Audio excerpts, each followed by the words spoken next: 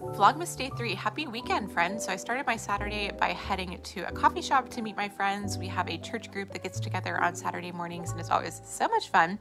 I got a hot chocolate today, which was delicious and very festive. And then we headed out to check out this Christmas market that was in the neighborhood. There was this beautiful flower stand, so I got some fresh flowers, which I'm so excited to enjoy at home. And we also checked out some of the beautiful local shops. I love this plant store as well as this little bookstore. They're right next door to each other and so, so cute. And then I headed back home to arrange my flowers and just relax a little bit this afternoon. I got this little ceramic ornament at the Christmas market, which I think is so cute. It's a little house. Made some lunch and took a little nap before unboxing some yarn and changing into this warmer jacket to head out for the evening. I made this jacket a while ago. I went to Anthropologie to grab a birthday present for my friend and then headed to a wedding event for another friend. Then I came home and caught up on my knitting project a little bit. It's going really well. I'm loving these cables and it was a great evening.